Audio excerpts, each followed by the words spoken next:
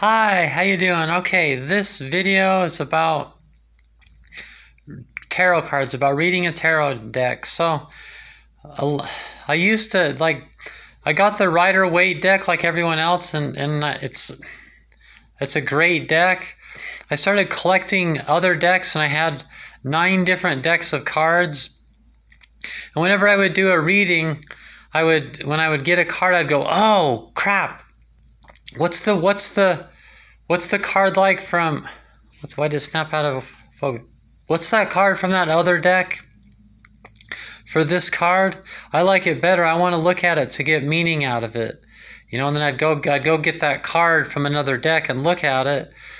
Then I realized, you know what? Why don't you just make your own deck? So so this is my deck. As you can see, I my favorite the reason I'm showing you this is because my favorite deck in the whole world is the Herbal Tarot deck. It's based on the Rider Waite. It basically is the Rider Waite, but each one has a corresponding herb. See, like this is the Magician card. The, the Magician card looks just like this, except without this this herb right here, and that herb is uh, astragalus. So the astragalus, the meaning of astragalus is the same as the meaning of the Magician card. So it has a, it adds a chorus, but on top of all the other correspondences, it adds an herbal correspondence to everything, to each card. It's so cool. And some of the, there's a handful of the cards are actually different. The Wheel of Fortune card is called the Medicine Wheel instead, which I think is really cool. It's just uh, this is my favorite deck. I love it, but it doesn't always see like right here. This is the deck, and and the card on top is, uh, ah. The card on top here, as you can see, is the, hello, there. The Emperor card, this is from the Crow's Magic deck. The Crow's Magic deck has its moment. That's a, the corresponding an owl to the Emperor is like so cool to me. You know, I like this card. This is my favorite card for the Emperor. You know, let's see what else we got here. See, this is from the Herbal Tarot deck. Most of them are going to be from that. The Suspended Person, and its corresponding kelp to it. Not cool. Let's just try another one. Oh, that's Herbal Tarot. That is a really cool one, though. See, that's uh, the Five of Wands, and it, it corresponds turmeric to it. See how the roots are coming up, or the turmeric roots are showing right there? Because part of the meaning of this card is to uproot the problem, to unify. See how each hand has a different color and stuff? To come together, unity and diversity, to uproot the problem, you know, and, and find the solution. See, as you can see, Herbal Tarot, Herbal Tarot. There's another Crow's Magic one. Come on. there we go. There's another one. The Lord of the Rings tarot, the Four of Wands from the Lord of the Rings. You know, then you can get corresponds part of the Lord of the Rings story to it. So that has its moments. Look, there's an actual Rider Waite one. I would have used this one because the Herbal Tarot one for the Five of Pentacles is different than the Rider Waite one. And it isn't really as effective. I'm like, oh, well, they took too much liberties there. I'm going to go with with uh, with the Rider Waite one. If I want to find the corresponding herb, I just get this and I can look it up in the book that comes with the, the deck and see what I mean? Look at that, that's a beauty. Um, another Lord of the Rings one. Another Crow's Magic one. Those are my favorite, obviously. Lord of the Rings, Rider Waite, Herbal Tarot, and Crow's Magic. There's another Crow's Magic Tarot deck. It's just a really cool deck. And then, then, like I can't even find anything else. There's the Medicine Wheel like I was telling you about. Yeah, see, it's mostly, it's because some of the decks, like the the Thoth deck, some of the cool, coolest cards are in the Thoth deck, but my, I got the jumbo size of the Thoth deck, so they don't fit in here. And then like I, the Elemental Tarot. The Elemental Tarot deck is really cool too, but it's the cards aren't the same size. So I picked my favorite of the ones that the, that have the same size of cards. So so looks as you can see they're almost all from from Herbal Tarot, Rider Waite, Lord of the Rings, and the Crow's Magic deck. So with tarot cards, you're you're encouraged to to collect different like some people say shouldn't someone give you the deck? And you shouldn't buy your own tarot card deck. That's not true. Oh this keto coffee is so good. That's not true. You can buy your own deck, but if somebody buys you a deck because they think they would like it, it has that magic property of, of you know, that comes with someone else buying it for you because they think you would like it for whatever reason, you know, maybe you know the reason. It just adds something magically special to it, you know, as you can, just like anything else, you know, gifts are special. But if you wait around for someone to buy you a bunch of cards because there's an advantage to learning many decks you know then it's gonna you'll never i mean it's never gonna happen unless like every one of your friends are witches and like it's just not real likely. You're probably if you're gonna get to know many decks you're probably gonna have to go buy your own decks. This right here this tarp i use this is from the the celtic book of the dead which is a, a deck of cards. And it's it's the the cloth for that. The the Celtic shaman traditionally has a special cloth for these type of moments, and so it gives you one that's a special one, and I use it for for for things like this. Okay, I'll do another um, reading that does this one. This is this is a really special card spread too. But right now I'm going to do the the Tree of Life spread. Okay, I'm going to shuffle the, the deck up. If you notice in decks, it tells you what the card would mean if it's upside down. But then, if as careful as I am and as much as I love my cards, you know what? That never happens. Why would a card be, ever be upside down unless you're like really like throwing them around and you know, just like it never happens. You know, so so that's just so like the reverse meaning if it's upside down I look at those and I learn from them. It, it can kind of help you understand what the card means in a little bit better detail. You know, give you something more interesting to look at. It helps you. Hello, man. This is oh, there we go. It helps you um get extra meaning out of it. I can't remember what I was talking about. So let's do this this uh, spread. Okay, I'm gonna uh, put this on pause and I'm gonna shuffle this up. Okay, I was shuffling it up and I kind of, some things came to mind, which is also part of it. So when you're shuffling it up, you have a question in mind. And uh, if you're reading someone else's card, you don't have them, they don't tell you what the, the question is until right before you do the last card. But when you're doing yourself, obviously you know the question. And since right now I'm just doing myself, I know the question. The question is, what type of characteristics should I look for in a friend? It's like I don't have enough friends right now, you know. I'm not I'm not lonely, but I'm alone and blah blah blah. I've talked about it in other videos. It's not a big deal, but I thought that'd be a fun one cuz that's kind of what that's kind of a thing, you know.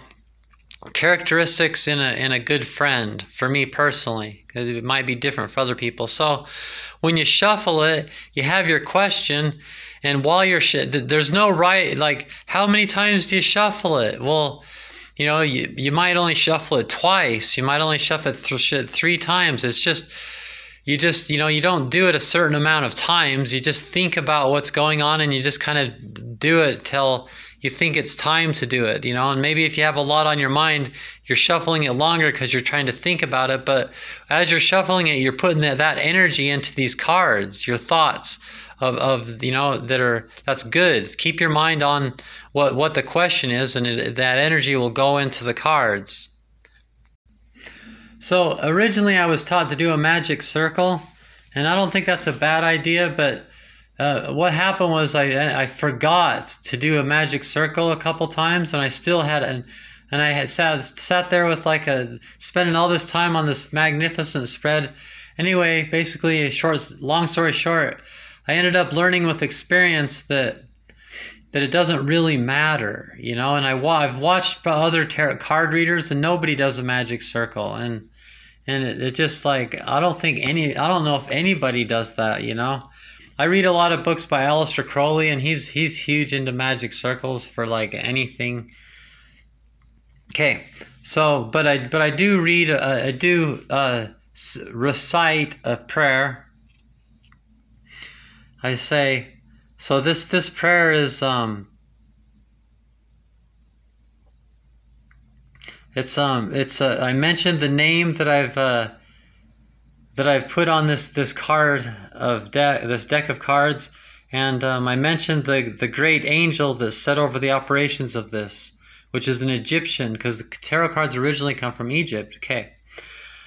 I invoke thee Yahweh El Roi that thou wilt send Heru the great angel that is set over the operations of the secret wisdom, to lay his hands invisibly upon these cards of art that have been consecrated in thy name, Yahweh El Roi, that thereby I may obtain true knowledge of hidden things to the glory of thine ineffable name. Amen. Okay, now I can do, I can shuffle it like I was saying. Okay, it is shuffled. I'm gonna have to work hard to make this fast, as I'm already 11 minutes into this video. I'll try to make this fast. It's kind of complicated, but okay. Tarot of the Sephiroth. The Sephiroth, for those of you that don't know, is the um, it's what the Kabbalah is all about. In the Kabbalah, you take the numbers 1 through 10, and they, they form the, the Sephirot. It starts at the top 1, 2, 3, that's across the abyss, then 4, 5, 6, 7, 8, 9, and 10. So number 1 is the idea, number 10 is manifested form. And then you correspond what all the things mean in uh, 1 through 10. Each one and each pathway has a corresponding uh, Atu card, um, the major arcana, and then each each sephira, which means sphere in, in Hebrew, is uh, has a chorus, you know, has four corresponding um, minor arcana cards. Okay, so so the Kabbalah is uh, all about the Sephiroth, which is that, and the tarot deck, which is all corresponds to the Sephiroth. So you don't have to learn the Kabbalah using tarot cards, but it's the hard way because like like here we have the universe card. The universe card is one of the pathways that connects two of the Sephirot. So you can you can read all the dry information and take out the meaning of what that means, or you can look at a picture on the card and it it, it animates it because it is the same exact same thing. Okay, it all comes from Egypt. Okay, so now I'm going to lay the cards out like that. I'm going to push pause because I can't do the balancing act at the same time. Okay, you start, you divide the card in thirds. You put this one up in the Keter position, and then you skip dot and you go to um, Tiferet and then Yesod. Okay, and then and then you go. Okay, then from the Keter pile I put over here into Chokmah, over here to Binah. Try to see if I can fit this on this table like that. Because that's how it goes. It goes one, two, three, and then um, four is over here. Yeah, I'm gonna have to scoot these down a little bit. Okay, now I'm gonna, oh, I guess I can do this. Four, and see, look, I took a very small amount. It's okay. Four, five, so there you have the archetypes. Five, six, seven, eight, nine, yesod, and ten. I ended up grabbing just one card for 10. That's okay. I'll put this a little bit off to the side, obviously, so it doesn't fall down. 10 and 11. The 11th Sephirot is dot, dot, which is the shadow side of all the different cards. So there's actually 11 Sephira. This one is the shadow of all the cards, so it's it's not counted because it belongs really to it's the shadow of the whole tree See how it looks like a tree? This actually belongs like that. See, so it's called the tree of life, or the Sephirot, which is plural for Sephira. Okay, so now, So now, like I said, one is the idea, ten is manifested form. So, so we start up here at, at uh, at Keter at number one, and that's like the the idea, kind of like the light bulb above the. It's the purified. It's the idea of of uh, of this. Okay, so like the idea is, here we have the ten of Pentacles. Okay, so the Ten of Pentacles, notice there's like a, like this is, the, the person answering the door like lives there and they're, they're answering the door or not, there's not a door, but they're, you know, a visitor's coming and they're letting him in and look, he's got like his dad or something that, that lives there with him and, and he's got 10 pentacles. So it's the 10 of pentacles, the 10 of earth. So this this card means like material prosperity and wealth because obviously you have 10 coins 10 is the biggest number so you have a full set of coins look that's why your dad's living there with you or whoever the old man is your father-in-law or whatever and you know you uh, who knows uh, what type of treasure what type of adventure whatever this this uh, woman that's that's you're about to let in your house is going to have. Um, it can also kind of mean like shallowness and things like that because like in a way none of these things matter do they? You know but look you've got two dogs and the dogs are already friends with with uh with the grandpa guy and everything notice that the the woman has a little a little kid see that little kid that, that's kind of like protective and has probably never been there before it looks like you know Okay. Oh wait, one one thing I like to do to to get some meaning out of it is I like to remember the in the Thoth deck it has a, a word that corresponds to each one, and they, they could be like this one is gain, G A I N. Okay, now I'm gonna do number two, Chokmah. And here we have the strength card. Ooh, cool. That's one of my favorite ones. I have the corresponding Hebrew letter for this tattooed on me. It's like super cool. Okay, notice the woman's pulling open the, the mouth of a lion and she's got the sign for infinity on on her on her crown there. So strength is so it's the strength card. It means pretty much strength. Okay, so this this is this card the words for this is your truth and it, it means like strength and courage um like um you know a person who's like a mover and a shaker so you know someone that can make things happen um, out of a, out of like a, this strength and courage number three so i'm trying to make this fast because I don't want to. This is gonna be long. I don't know if I could do it too fast. I'll try. The Emperor. We already did that. It has the owl. It says Overlord Supremacy. This one's so cool. Okay, this one it, it means like like your masculine drives as opposed to your feminine drives. There's an Emperor and an Empress card, so it means like um like uh, the power to like organize and and it means like protection, right? like the you know it's kind of like think about the the the iconic dad and what the what they add to the family you know the protection the provider the the dominion you know? So it means that but it but it really means like like in you you the you know your your masculine drives okay? Now this one this one is the last one you do. Number 11 so now we will go to number 4 Chesed and we get the the nine of wands. So look at the nine of wands. He's taken look see how he has a bandage on his head?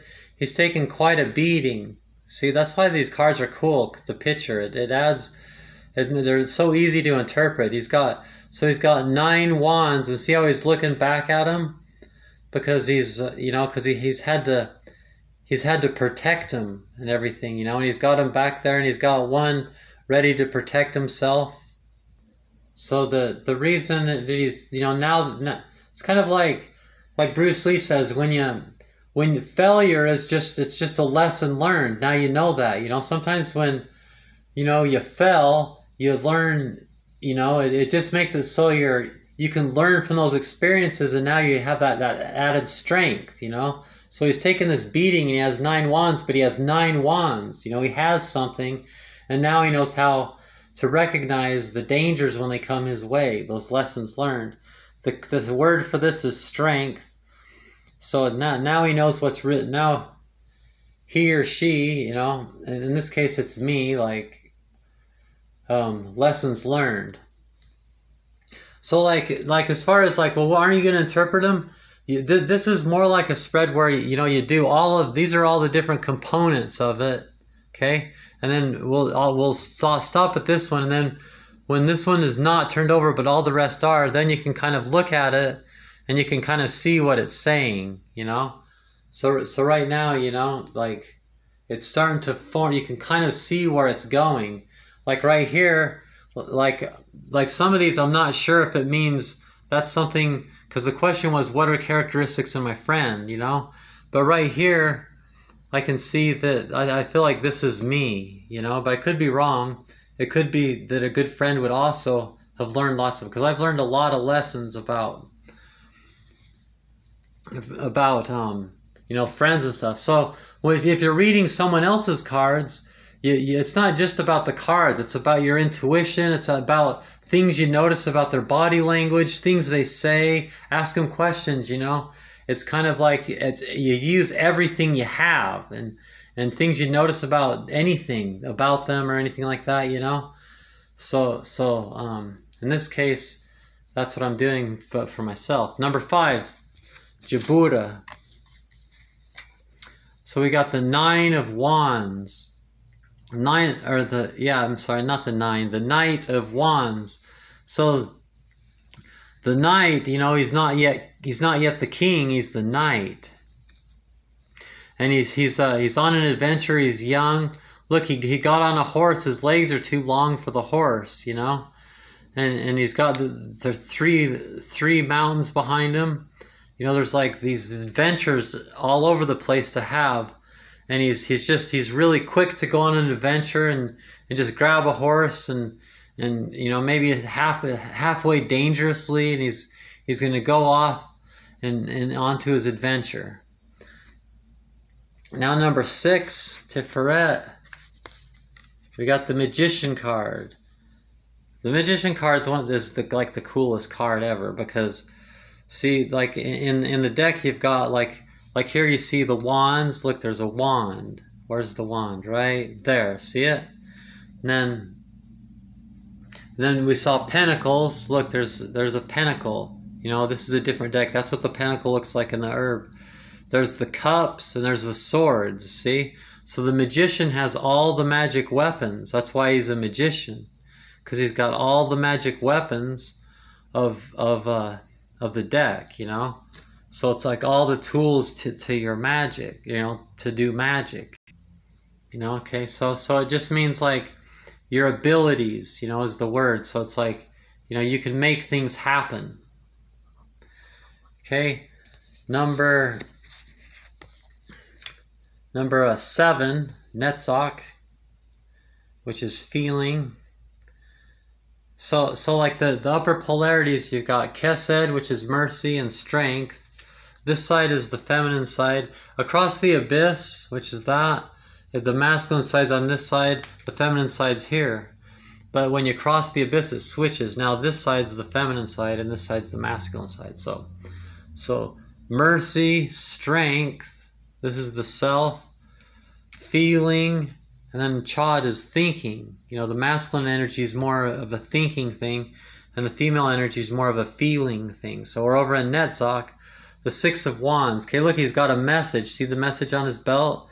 He's got his wands, and he's he's he's uh, you know, it's like a a person with a message. So the word for the word for this one is victory. So it's like temporary gains, the battle of words and strategies, you know, like a a pause in the struggle, you know, but you've got a message, you've got something, you know, something has been gained, some a victory has been gained with it, in this case a message. Okay, number or the thinking. So that's the feeling. See that? See how that could be a, the thinking, but it's not. It's the feeling. Now chad, which is the thinking. The thinking is so. This is the upper polarity. They're the archetypes, and this is the self. And then below the self is the lower part polarity. Okay, so the chariot card. Chariot card is finding strength from within. You know. Uh, to, to triumph. See how see how it's he's got this the plant and his the chariot's been being pulled by this plant from the from the strength from within. Okay, and then here we've got Yesod, and that's oh this is a trippy one. This is the five of pentacles. This this card's always a trippy one to get. I used to get it as a single parent for a long time. I used to get this card all the time you know, and obviously that was me and that that was my son. So if you look at them, they they could be inside that nice warm church, but they're outside in the cold, in this uh, difficult situation, walking by the church. So it means so like misfortune, you know. The word for this is worry, and um, you know, like like worrying and being like thrown back on yourself, but but discovering your capabilities. See how she's like deep in thought? She's learning something from it is the positive thing. You know, that, I mean, that's what you do in that kind of a situation. Now, number 10, Malkut, the Seven of Cups. Awesome. Okay, the Seven of Cups. See, this person's dreaming and there's and there's seven cups. See and each one has has some type of thing. So basically it means like kind of like believing in your dreams. You know even though everybody else thinks you're crazy. I mean like a dragon. People are like dragons aren't real. You know and like you know what i mean? It's like believing in in that that believing in dreams you know? Okay. So now now let's just look at everything so I'm going to think about this for a second. Okay, I got it. Watch this. This is fun. Now's when it kind of comes together. Okay, so number one, the pure form of the idea. So the, this is kind of like the goal. The goal is to find a, a friend that's that's uh, you know or friends or or whatever that that's going to be. That the, the you feel at home and you feel like you know like successful in in that desire, and so um, it's going to take courage you know, and, and strength to do it, but you can do it. Remember, you're the master of your destiny. You make your destiny. Um, you've just used so like one thing, like you kind of wonder, is this gonna is this talk? You know, like with the question and spread like this, is it more about like me or more about them? This card turned out to be this spread turned out to be a lot more about me than them. So it's kind of like be the friend you know like it's it's something that that i'm going to do. It's not going to land on my lap basically. Use use the lessons that i've learned angie. You know use the lessons you've learned and, and you've, if you've got something. Um it's like the upper the upper polarity is you know a question of learning from your lessons and and but not overthinking too much you know. Get, being a you know don't wait for the perfect moment. Get, get out there and gallop around and and uh, you know, and the you know the world is your oyster. But then this is the self, tet, uh, tiferet. So remember that you're the you can create you can do things. You're the master of your destiny, but you're a magician and you can manifest things. You can make things happen. And then the lower polarity, the the feeling and the thinking. You know, keep the feeling alive that you that you have something. See the message? You you know you have something and um, the thinking keep the thinking going that that you know you, you look within and that strength within that's that's what you want in a friend. That's what they're going to want in you you know someone that has some kind of strength and they're not just a pushover. With all these lessons and all these things that your my friend couldn't be my my uh, my venus is in aries you know so it's like yeah you gotta they, they got to have a strength, you know, but I but I, I got to keep my strength too within. you know, there's been there's misfortune, and I've lost my friends and family and transitioning in that, but I'm I'm in thought and I'm preparing, and I, and I've got in this case that's me. And uh, just uh, you know, believe uh, believe in dreams. This one's the one that has to do is kind of like the mutual moment, you know, like the basic the my friend or friends whatever would probably generally have all of this in common, you know but the big the big thing is like this is ten Malkut manifested form. The big thing is on you know that we both you know we it needs to be someone that believes in dreams the way I believe in dreams. You know. You know, like, do you believe in Bigfoot? Not someone that's a no, but someone that, that might believe in Bigfoot and that you know has dreams and and and and things things like that. Okay, now we can now that we've we've assessed all that now we can flip this over. Wow this is taking forever. I knew it would. The page of swords. So this is see that they can move swiftly towards the goal. This is this one means so what next? So now what you know? So we got the page of swords and then now what see how see how this one is looking at this dillweed you know like it sounds funny but but dill, see, dill is the corresponding plant. And see that they see their goal. Their goal is to come and chop this this plant down. They're going to come and get it. One one uh, thing says like someone like the, someone that's young points out it's the page, so it's someone that's young that um, that will move swiftly towards that. But that can be fake too. You know, like hey, look, I'm. You know, sometimes when people are go getters it's it's you're not seeing their true colors, you know. So that's why I got to apply all the other stuff. But what next?